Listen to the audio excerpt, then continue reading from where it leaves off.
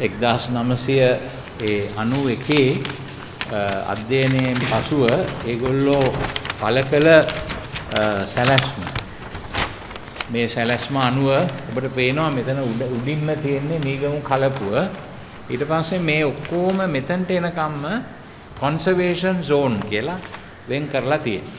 ඒතකොට දැන් මේගොල්ලන්ගේ මේ වැඩපිළිවෙල යන්නේ මෙන්න මේක ඇතුළේ. මේවා කරන්න දෙන්න බෑ.